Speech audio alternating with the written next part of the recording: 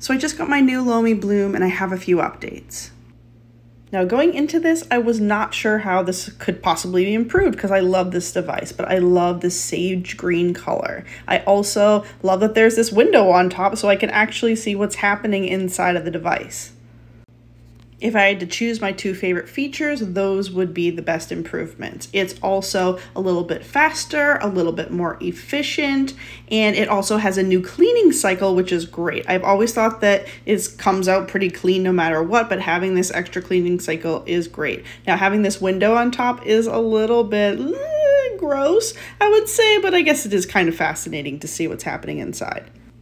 There's also an app now so you can see where your device is in the cycle. I don't think that's the feature that I'm going to use because I usually just sort of set and forget it overnight, but it is a nice feature and you can earn rewards so you can get other Lomi products and from a few other companies.